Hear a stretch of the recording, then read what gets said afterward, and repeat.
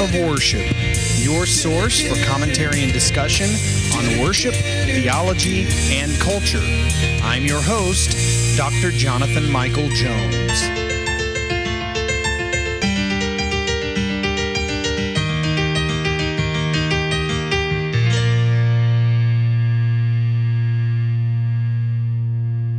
And welcome to the Act of Worship podcast. This is Dr. Jonathan Michael Jones and continuing today through the Psalm Project with Psalm 56. Psalm 56 is a very interesting psalm, even beginning with the title in your Bibles. It will probably have something like this. The title will be uh, To the Choir Master, according to the dove on far off terebinths, a miktam of David when the Philistines seized him in Gath. Now, what in the world does that mean? what is going on in this title? What what is the dove on far off terebinths? It was probably a tune, uh, a musical tune, or maybe some sort of instruction. Some people think maybe a percussion instrument.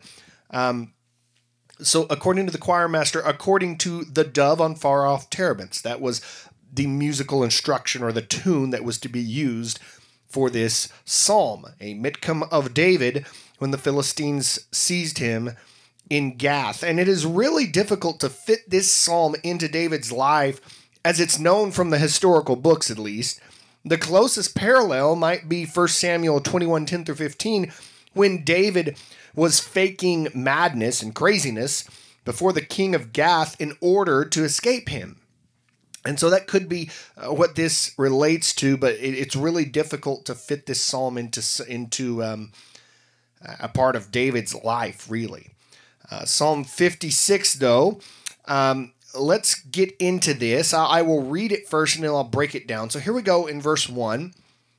Be gracious to me, O God, for man tramples on me. All day long, an attacker oppresses me.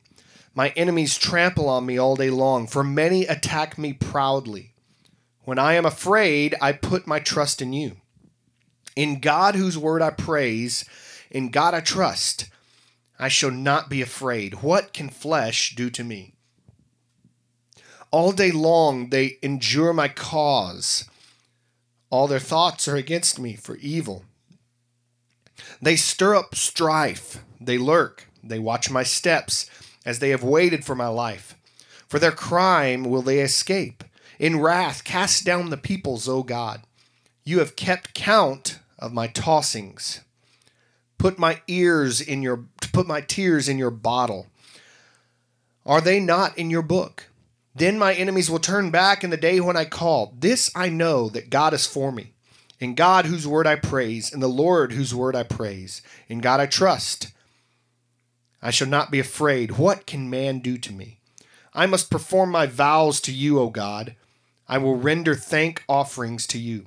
For you have delivered my soul from death, yes, my feet from falling, that I may walk before God in the light of life. So the psalmist here, like many psalms, laments, but then also offers his praise to God. So, in other words, his focus is not the lament. That is sort of a a side thing in this prayer to God, and he praises God. And I wish our laments were the same. We always focus on what is going on in our lives, and we focus on us. It's me, me, me. Look at what's going on with me, God, rather than praising God and that being the source of our strength and the source of our prayer, and then sprinkling those laments in that prayer. That is how we should approach a lament. That even though we are going through a difficult time, maybe a very, very difficult time, our focus is still the praise of God. Look at verse 2 My, tra- my enemies trample on me all day long. So the enemies here, like ruthless animals, they treat the psalmist as their prey. In verse 5, all day long they endure my cause, their thoughts are against me for evil. They change the meanings of his words, in other words, to, to put him in a bad light. They speak false things and lies about him. Verse 7 For their crime will they escape? That's a question the psalmist is asking here. In wrath, cast down the peoples, O God. The parallelism of this verse suggests that the enemies are perhaps the foreign nations that surround Israel. Keep in mind, David was a king, he would have dealt with that. In verse 8, where it says, You have kept count of my tossings, uh, other translations say wanderings. You've kept count. The psalmist is calling upon God to hear and to remember his prayer. In verse 9, then my enemies will turn back in the day when I call. This I know that God is for me. So David here remembers God's covenant, his promises, uh, such as in De- Deuteronomy 28 7. This is a promise that God will scatter the enemies of his people.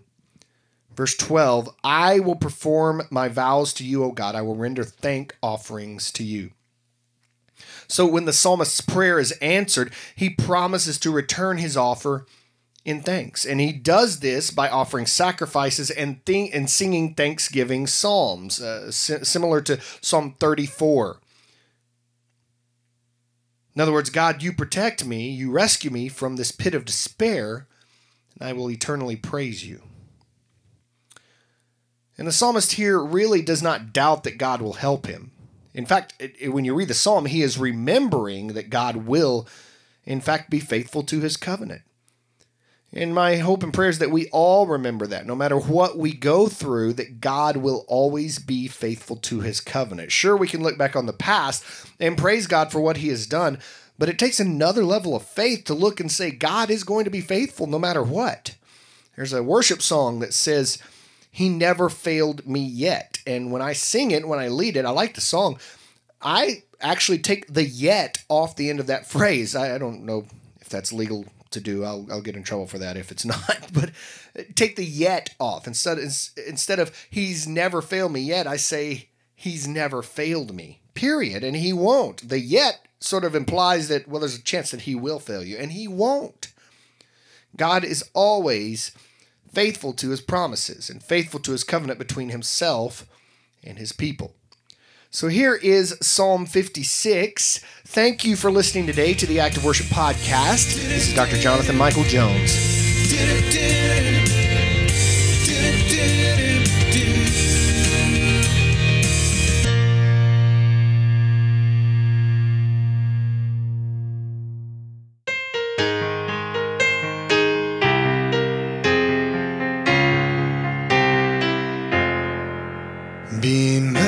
Merciful to me, O God, for man has hounded me.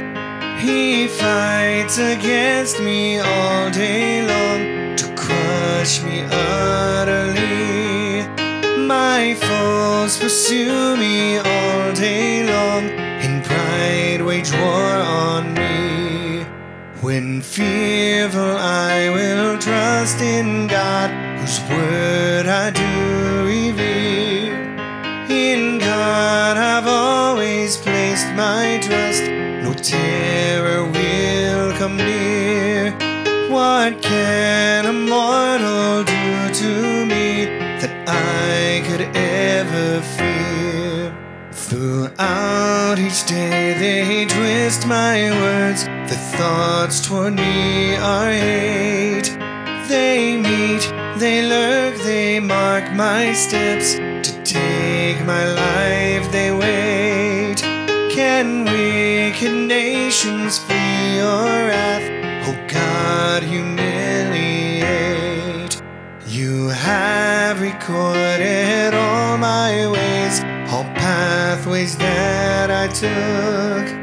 Within your bottle placed my tears, are they not in your book?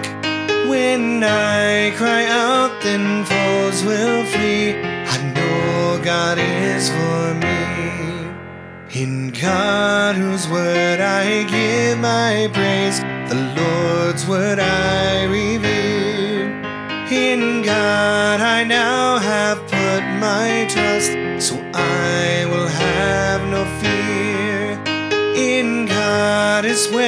my trust will be. What can men do to me? Your vows are binding on me, God.